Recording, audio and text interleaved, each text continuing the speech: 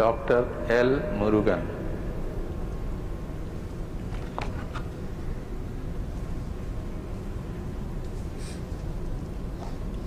I, I, Dr. L. Murugan, do swear in the name of God that I will bear true faith and allegiance to the Constitution of India as by law established, that I will uphold the sovereignty and integrity of India, that I will faithfully and conscientiously discharge my duties as a Minister of State for the Union, and that I will do right to all manner of people in accordance with the Constitution and the law, without fear or favor, affection or ill will.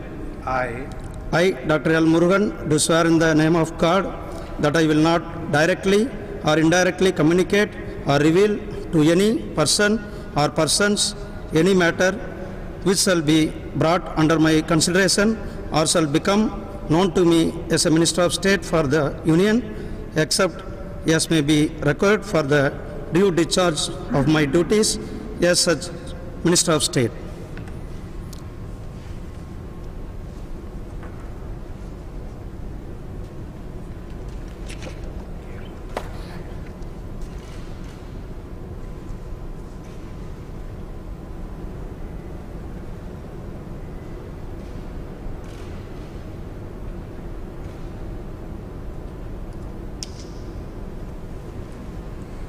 咱们就是